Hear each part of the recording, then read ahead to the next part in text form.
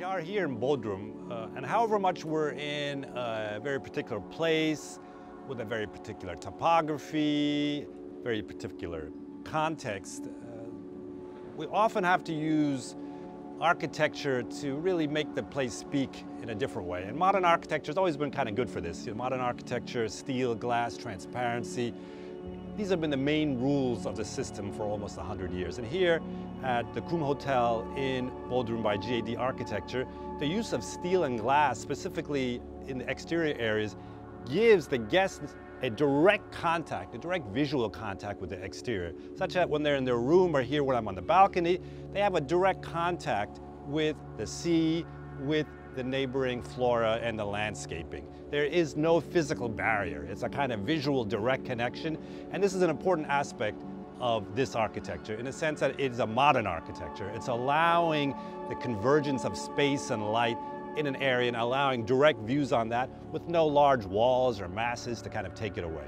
So this kind of Aegean modernism here, I think, is one of the successes of this piece of uh, this, this architecture in the sense that we are here really experiencing visually also through this particular view each of the houses, each of the residential complex hotel rooms have been oriented towards these particular views, allowing this maximum relationship to the exterior setting, to light and to the air.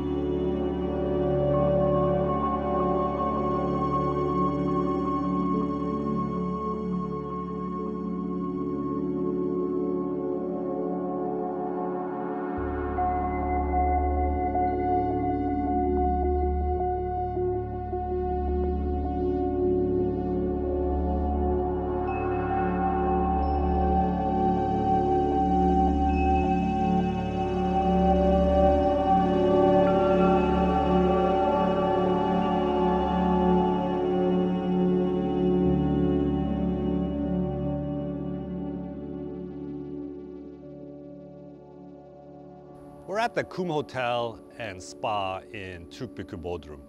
This is a building or a complex built in 2009 by GAD Architecture on the northern coast of the Bodrum Peninsula in the Türkbükü area. Right to my right is the Aegean Sea and to the left are the mountains, the rock faces of this geography, this topography. We have a steep, steep slope here, and the steep slope forced the architects to take into account the different views accessible through these rooms that you see above me. Each of the individual rooms, the view has been aligned towards the sea, careful not to obstruct the neighbor, at the same time create a sense of privacy.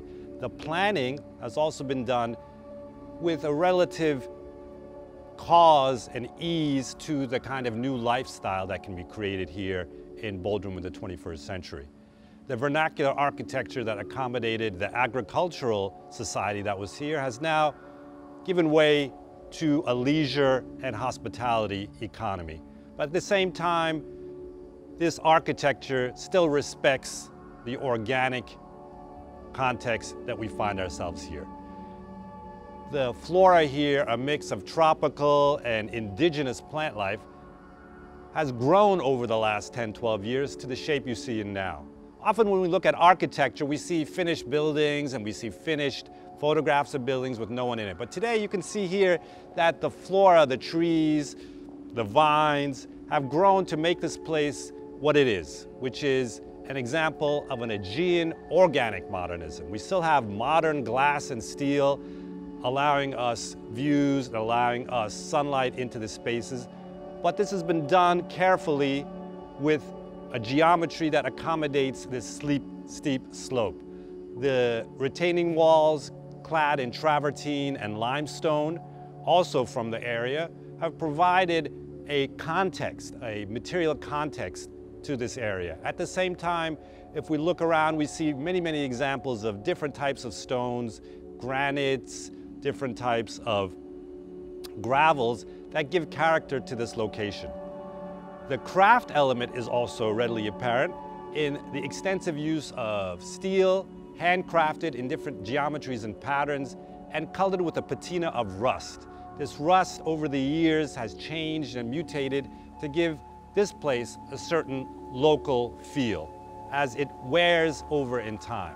The success of the architects has been to allow this transformation to happen at the same time not degrading the original design intent. GAD architecture, especially in Bodrum, in many of its projects, over time we can see that the buildings have really grown into the setting and the setting has grown into the buildings. So this is what I feel would be a success in architecture, that we can take into account 12 years and say, this lifestyle, this economy, this particular place still lives and provides value to its residents, its visitors, and to the locale in general.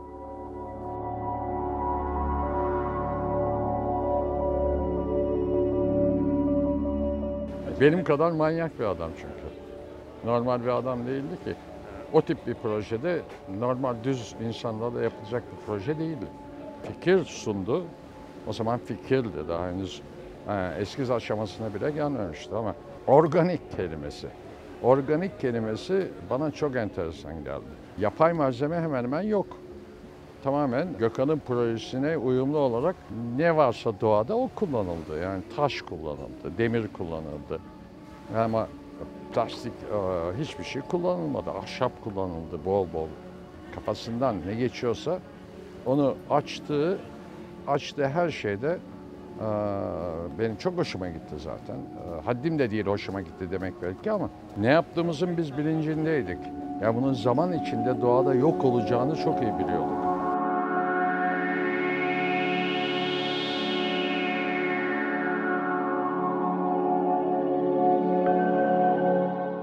We started the, the COM project. Owner and also owner, a consultant was Irfan Kurish. He wanted to design a new idea 15 years ago, combining uh, residential and hotel together. Every house has a different view, and we would like to keep that idea. And uh, we played a kind of the we call that today the parametric design and organic design whatever you you call each house and also each hotel has a different view and we didn't design any windows the two sides. And like uh, concentrate on the house to or room to directly their own view